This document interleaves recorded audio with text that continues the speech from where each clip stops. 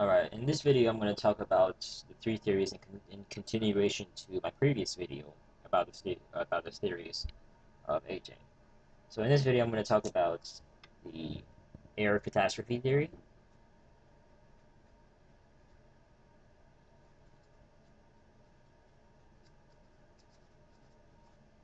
error catastrophe theory, um, theory of programmed aging,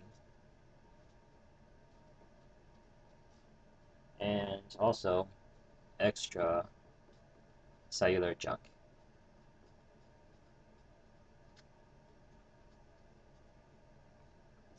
Okay, so that's what I'll be talking about today. So the error, error catastrophe theory is the one we probably think about most when we're talking about aging.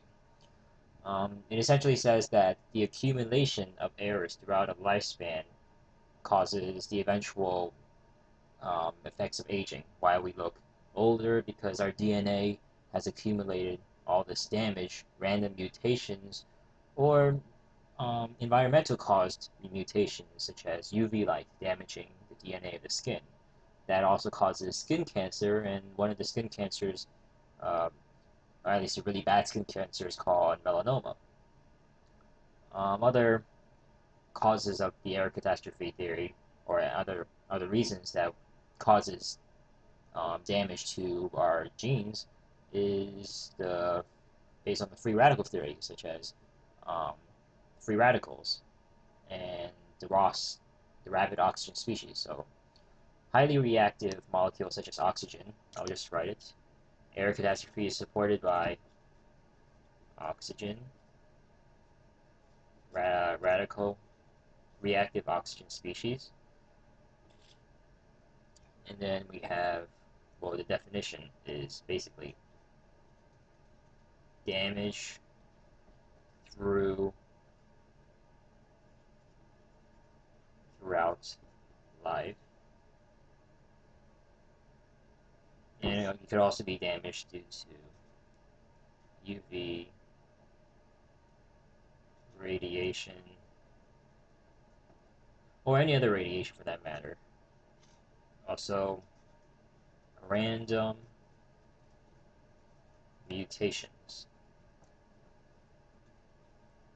And what happens is whenever there's all these uh, errors in our DNA, say you're trying to transcribe a protein, or transcribe, say this is a strand of DNA,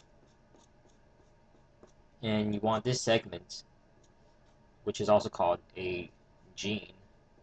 A gene is by definition a segment of DNA that codes for a trait, or this trait is being a protein. So a gene is converted to mRNA, which becomes a protein.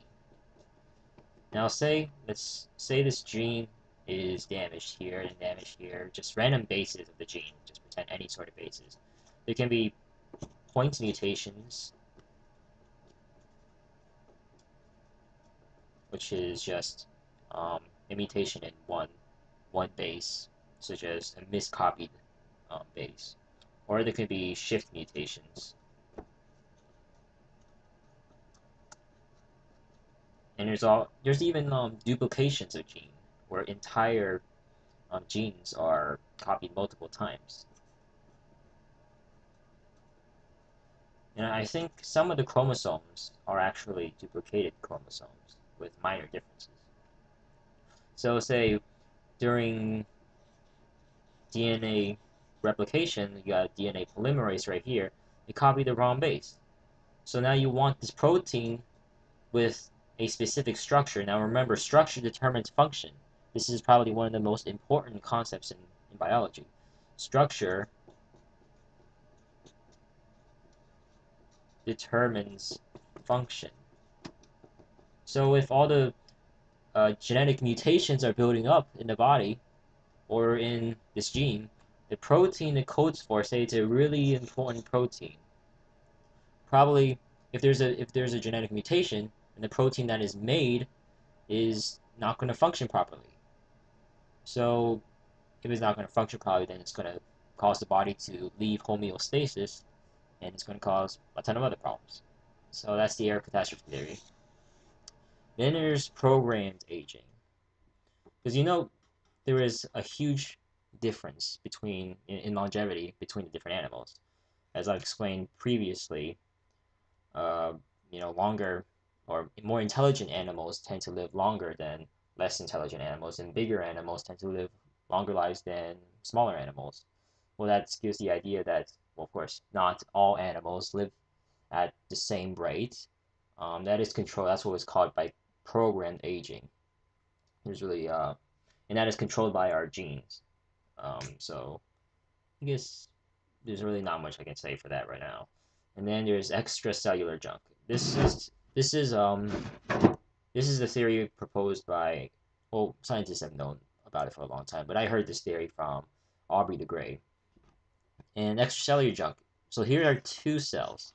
What happens between two cells is that you need um, hormones or multiple cells. You got so all around these are say pretend to be muscle cells.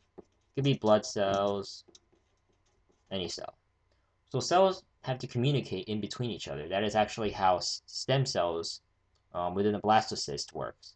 That's how we, we, we got our arms and legs originally when we were a single cell. That one cell divided into two, four, eight, until we got about 100 cells. And based on the position of these cells, these cells turn into our arms, turn into our legs, turn into our livers. So the cell cellular communication is really important. Now what happens is that sometimes you get this crappy stuff in between the cells that isn't broken down. So that screws up communication. Also, if you're talking about the lining of um, blood vessels, that is also the extracellular matrix. So here's the blood cells. Pretend that's pretend that's a blood vessel. Now if you got stuff building up all around here, that causes that can lead to blood clots, or just in the just the circulatory system doesn't function as well, and that is one one example of extracellular junk. Otherwise, you can also have um, um, you have gardens of glycoproteins on the surface of your cells, and there's also these glycoproteins are required for cellular communication. Now, there's also a problem when a person ages. There's some of these glycoproteins are cut in half.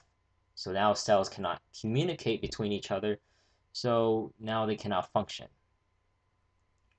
So these are the three uh, basic explanation of the three more theories of aging. The error catastrophe theory, uh, programmed aging, and extracellular junk. I guess I'll go through how to solve these problems later, but the how to solve is, is still under development. And Aubrey de Grey, you should I suggest searching him on YouTube. He's a really interesting guy, and he's actually a computer programmer. But yeah, he's he's he's the leading um, agent researcher right now. All right, see ya.